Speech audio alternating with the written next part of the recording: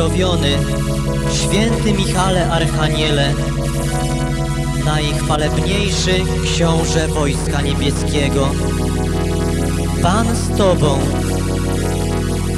błogosławiony jesteś między wszystkimi chórami anielskimi i niech będzie zawsze błogosławiona Przenajświętsza Trójca, która zechciała Cię ubogacić tylu darami i przywilejami.